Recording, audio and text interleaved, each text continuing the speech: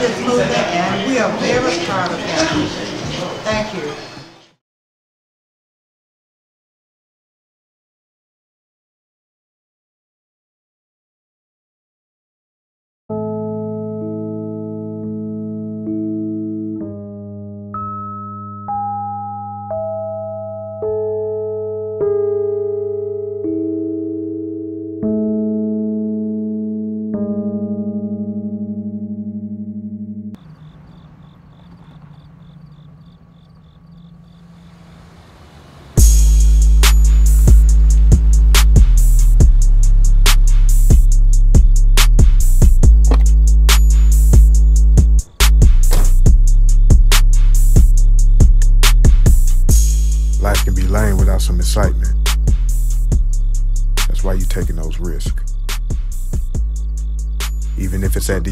The expense somebody else's feelings.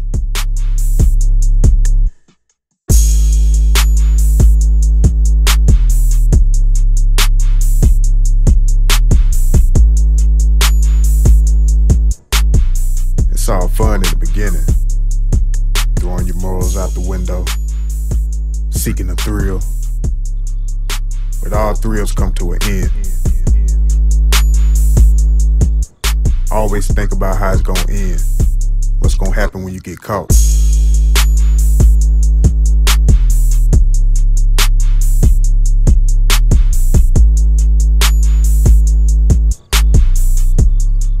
Because those risks might not be worth it.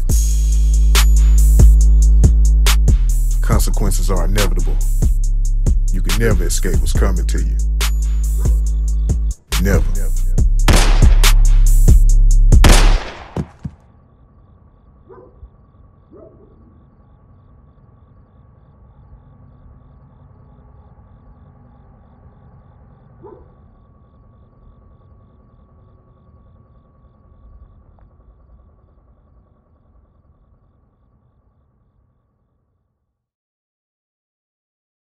Mistakes you make in the past can always come back to haunt you. Be mindful of what you do. And ain't no rewind button on life. What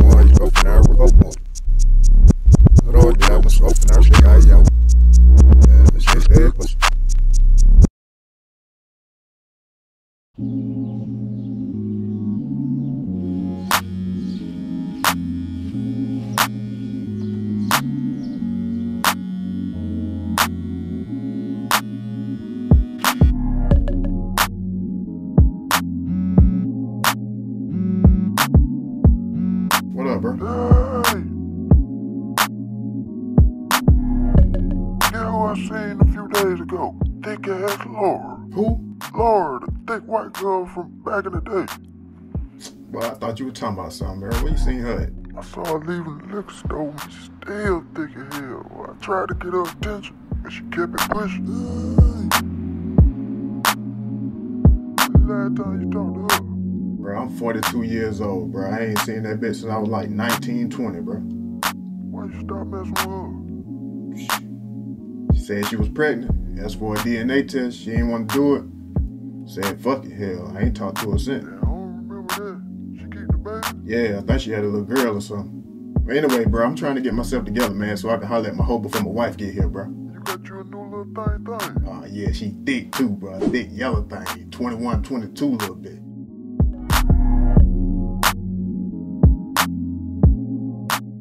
Shit, she fine too, bro. Thick. I need me one. Anyway, bro, I'm gonna holler at you later, bro.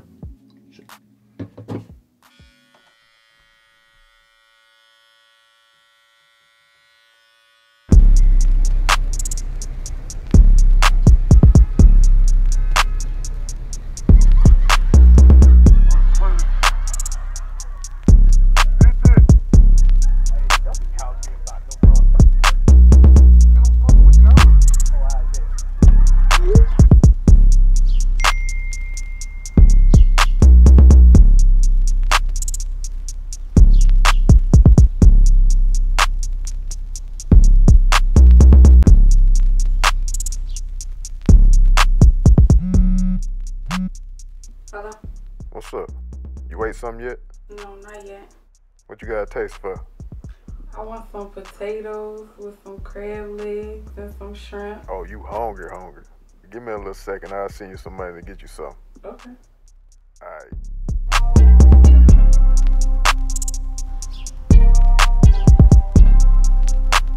Send you a little couple dollars.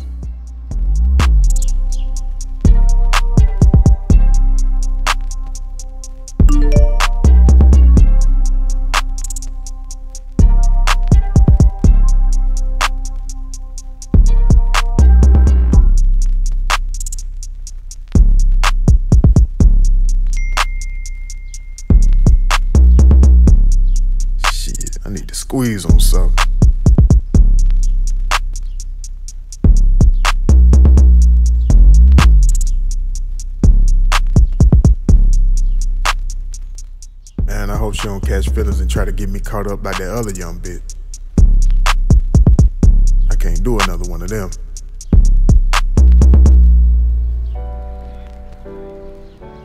When he got locked up, I didn't know what I was gonna do. So I'm just glad I met Frank because he really handled shit. Wait, I thought you were single. I am. Frank is just a friend that helps me out from time to time. I mean, I ain't trying to get in your business or nothing, but uh, what you got to do for this Frank? I mean, if you don't mind me asking. I mean, just friend stuff like companionship, talking to him, work for him a little bit. Oh, so you basically do little favors for money. I get it. I ain't judging. It's all good. Nigga, I'm not a prostitute. Is that what you think I am? No, I ain't judging. I was just putting everything together. My bad. My bad. I was jumping to conclusions. I ain't mean it like that. Well, I'm not no hoe, and Frank is like 86 years old, and his meat don't even work. You want to put on some music? Yeah.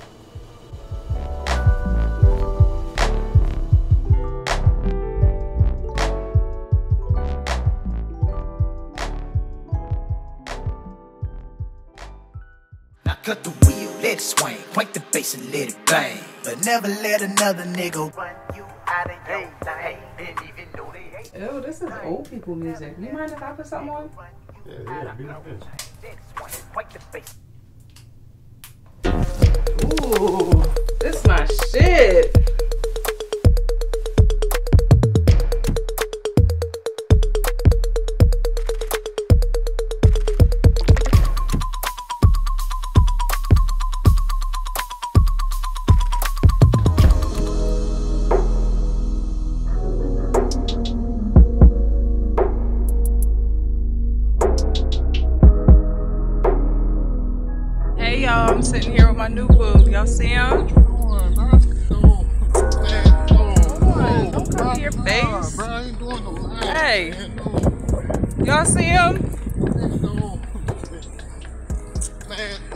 Don't be trying to hide. And my wife ended up seeing that shit.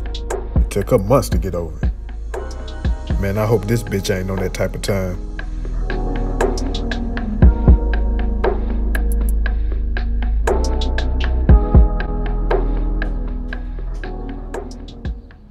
I don't need no more drama at the crib. For real.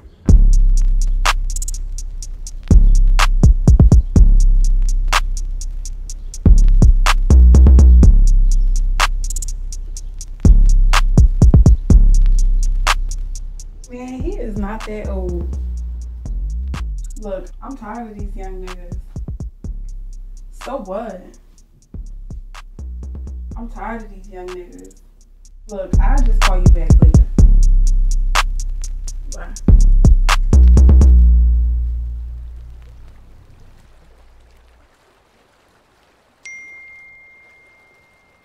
Yeah, yeah, I want to eat that ass. I mean, eat with uh, I mean, uh, eat with your ass. Hell, I paid for the shit.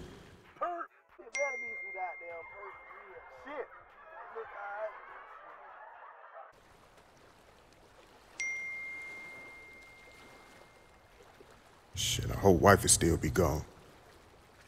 I can't wait to squeeze on that. I just hope she ain't got no crazy nigga like my other little thing thing. I ain't got no time to be fighting over no kitty. Shit, no. Yeah,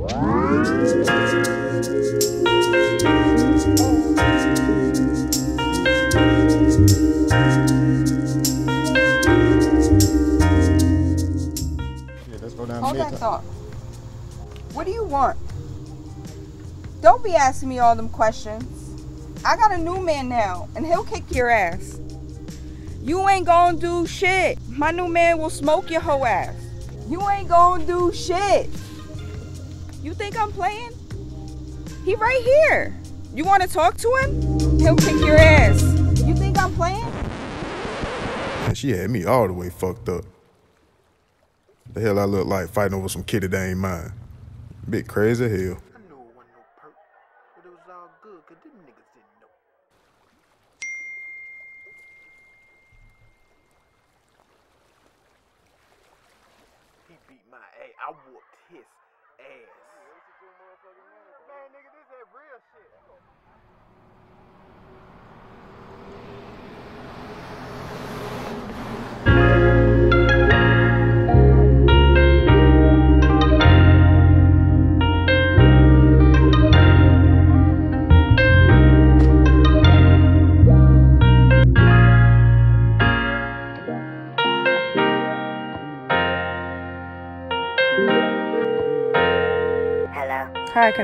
Frank?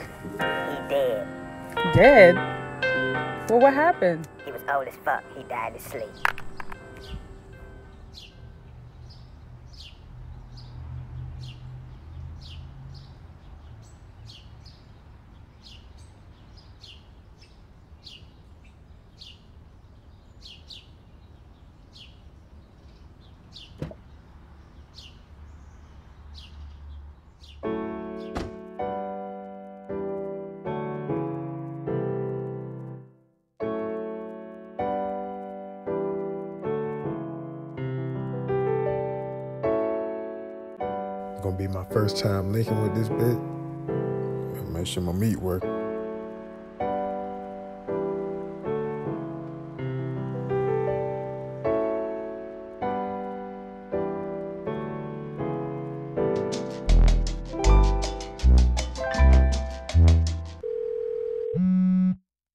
She calling me for?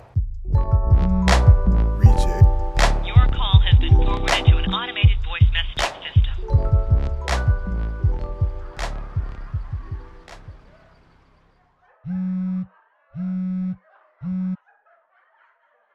Hello? Mom, I can't talk right now. I'm running late.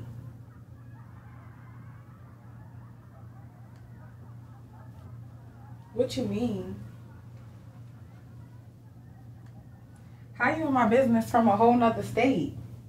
No, no. You are my business because you are my daughter. Well, I'm back in town, so I'm heading to the house now. Well, you better tell your little friend to come pick you up because there ain't gonna be no fucking in my house. The mistakes you make in the past can always come back to haunt you. Little true story, I had a friend that didn't find out he had a child until the child was 18 years old. All because the baby mama tried to make somebody else believe they was the father. She had her own reasons for doing things, but that could have been real bad. Why y'all old niggas out here trying to by their daughter, you better not mess around and almost up your own daughter.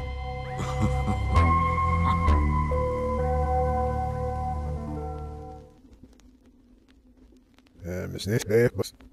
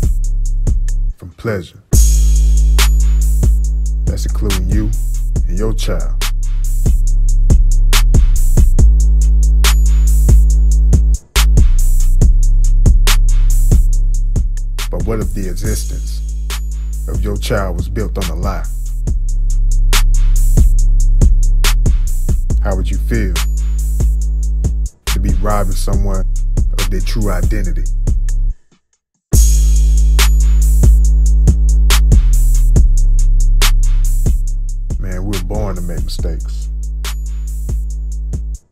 Just make sure you own up to your mistakes.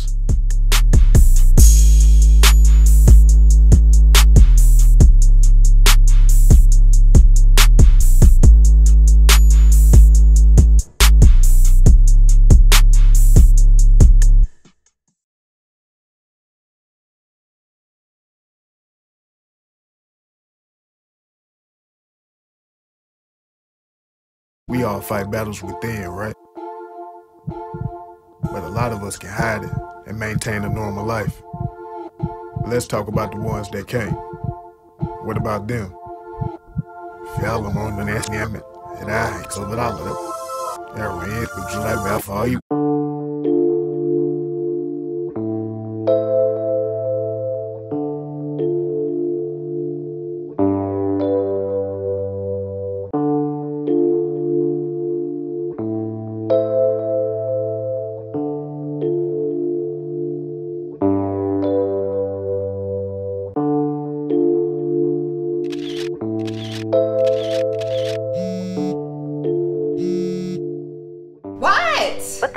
wrong with you? Nothing. Just trying to do too much at one time. What's up? We still going for brunch today?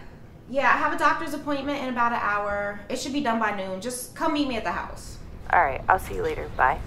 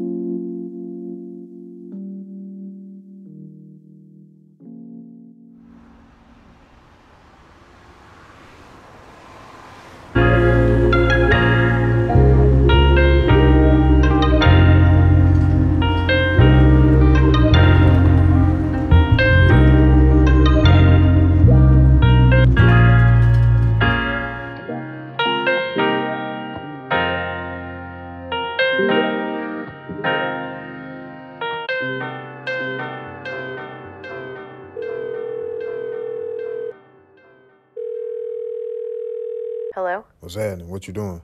Just getting ready to meet Chris. Man, man, I thought me and you had an understanding, man. What you mean? You still kicking it with her? I don't want her to suspect anything. I don't want to make it obvious. Man, whatever, man. Just pull up on me when y'all get done doing what y'all doing. Okay. Where are you at now? Still at this stinking ass hotel. All right, I'll call you in a little while. Yeah.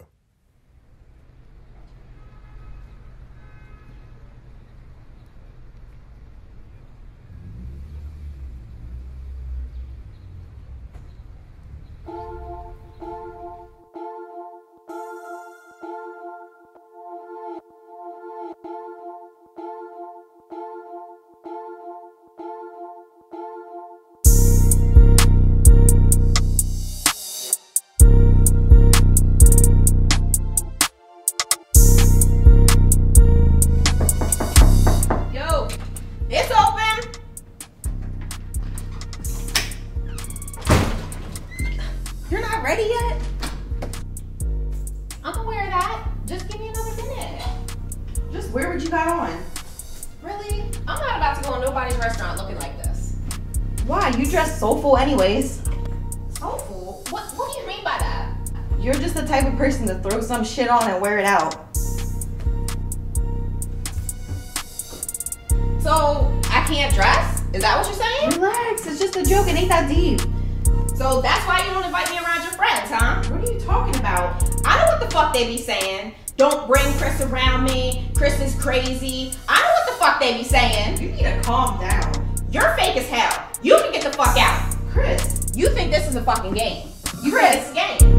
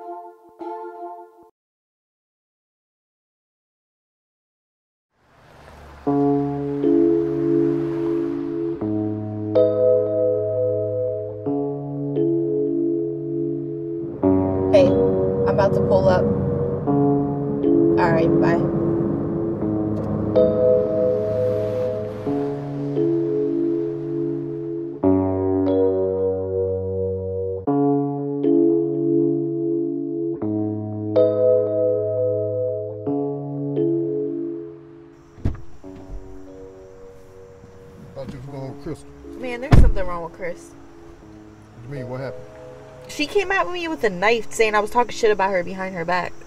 Oh shit, she didn't take the meds. Medicine? Yeah, about a few months ago, she was diagnosed with that bipolar shit. She been on meds ever since. Man, that shit got bad. I wonder why she didn't tell me. Man, I can't give you her reason, but that was part of the reason me and her broke up. I couldn't take that shit. Do you think she knows about you and me? Nah, she would have said something. You know, she not that type to hold shit in. I am a real shitty friend. Hell yeah. Wait, hold on. This is her calling now. Man, fuck all that, man. Fuck all that, man. Let's go get some food, crank the car, up, man. Let's go, man. Fuck all that shit, man. Let's go. Going through tough times. It's the best way to know who really loves you. Because love ain't something you can just turn on and off. It's either you love someone or you don't. You're either loyal or you're not. Even though Chris is struggling mentally, that saved her from a fake friendship and a fake relationship.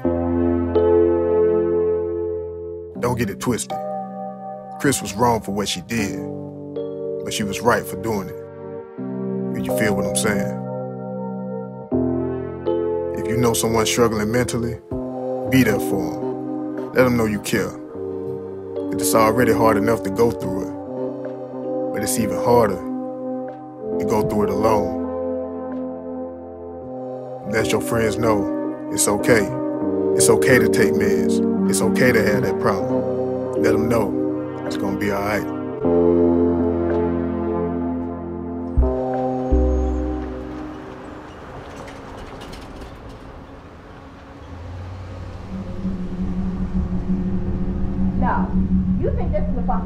And her ain't got shit going on. So you think I'm a joke, don't you? Man, you the one who came over here on that clown Oh, so I'm a joke to you? I bet you be talking shit, huh? Man, ain't nobody even thinking about you. Man, fuck out of here, man. Yeah, get out of my house. No. Get out no. my crib, man. You think this is a fucking game. No, no, what what you gonna do with that?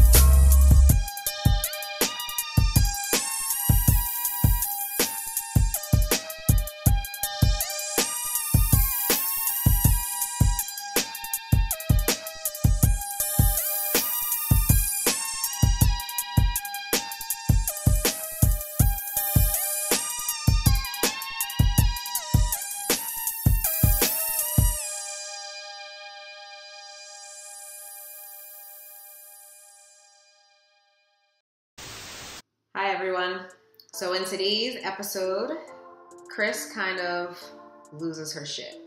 We want to talk about how mental illness plays into these actions. This is not normal behavior. A lot of times we see on reality TV just snapping out and it's okay, but those anger outbursts can have consequences. Cops can be called, people can be hurt. So, you know, we want to talk about mental health on this episode and how we can identify some symptoms of mental illness and what to do in a mental health crisis.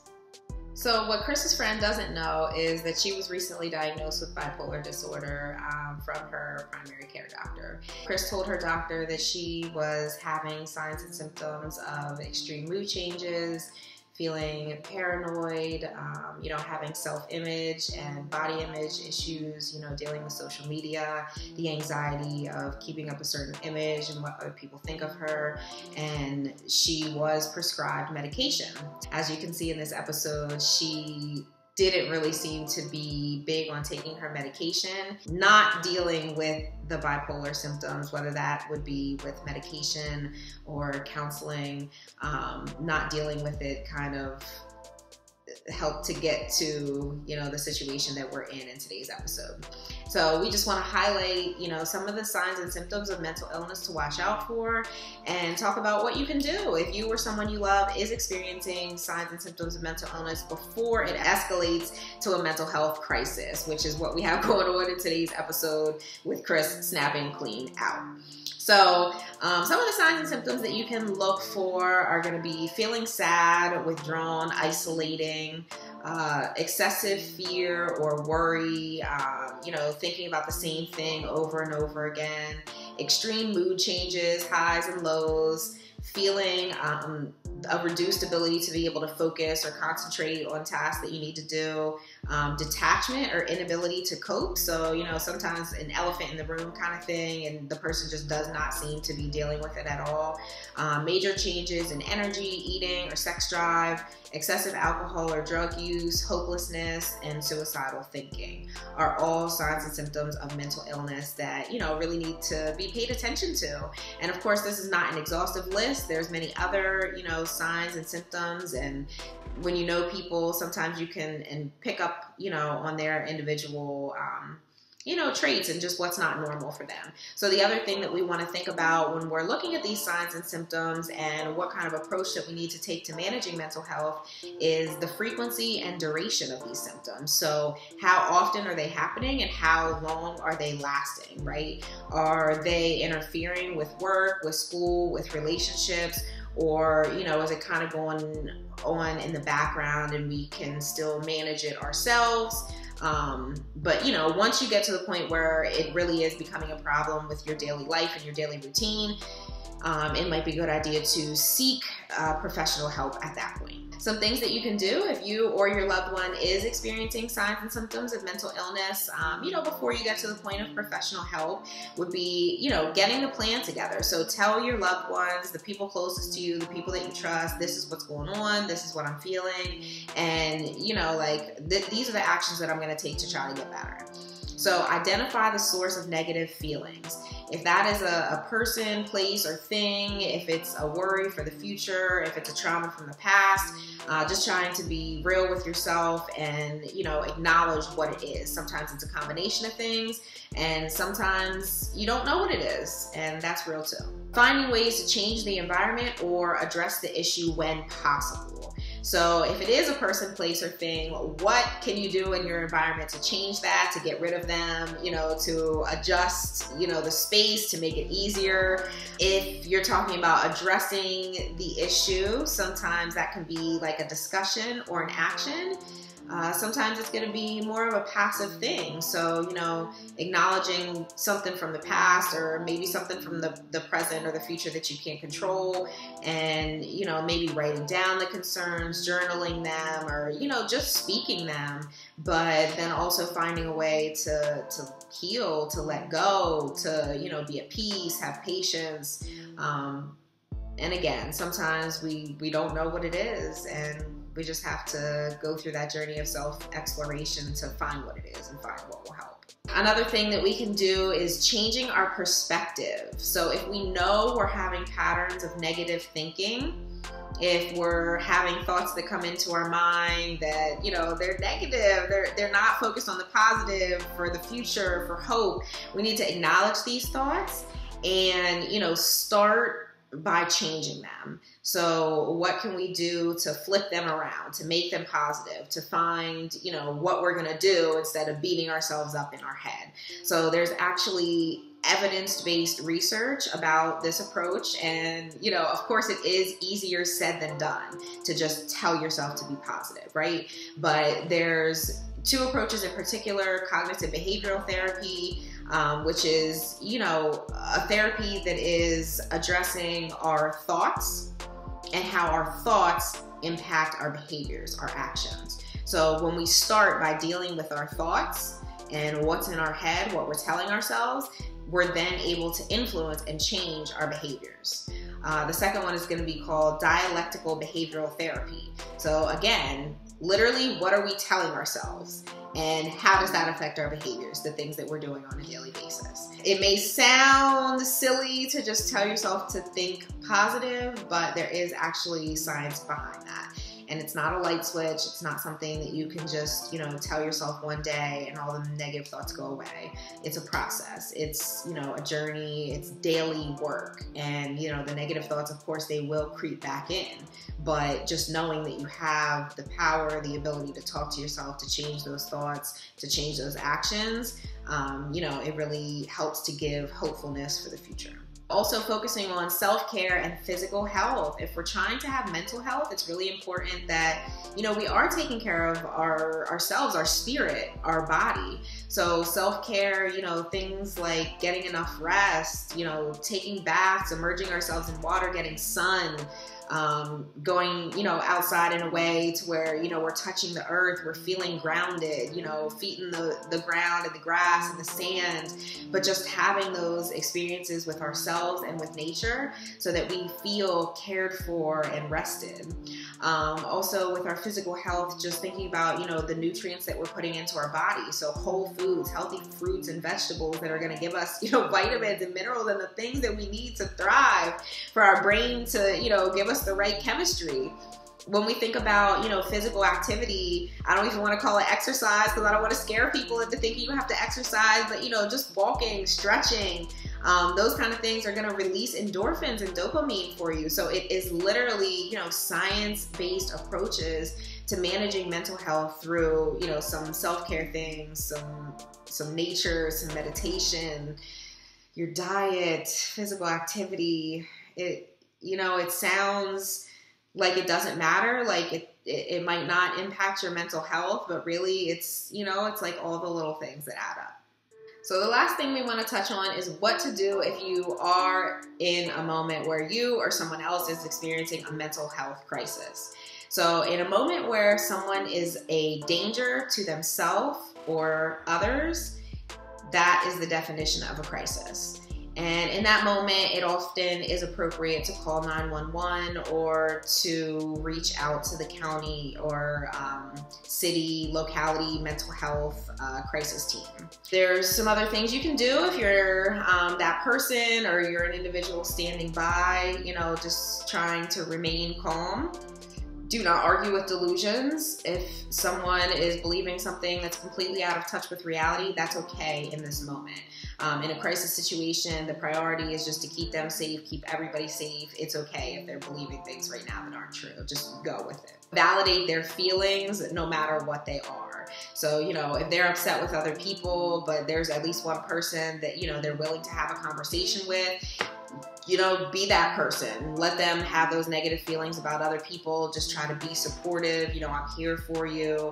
I want to help you. What can I do for you? Um, leading to the next point, just kind of reassuring safety. Uh, if you can, providing emotional or physical support. So, you know, asking them, again, what can I do? What are you upset about? Um, if you can provide any physical support, food, water, blanket, um, you know, safe place, ride to the ER. Um, there's usually two ways to check in or be checked in in a crisis situation. So that's going to be basically voluntarily committing yourself and saying, you know, I know that I'm a, not in a right state of mind. I'm a danger to self or others. I'm going to sign myself in. Um, or having a doctor make the claim that you are a danger to self or others. And then in that case, you know, the medical team makes that decision and you are committed um, in which case you know there's some hoops to jump through and things before you you get out. So just being aware of how serious it can be if you do experience it a mental health crisis um, can sometimes save us